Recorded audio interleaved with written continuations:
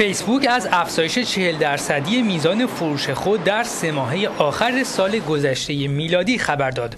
بزرگترین شبکه اجتماعی جهانی اعلام کرد که درآمد حاصل از تبلیغات این شرکت از زمان ورود آن به بورس در ماه مه سال گذشته افزایش یافته.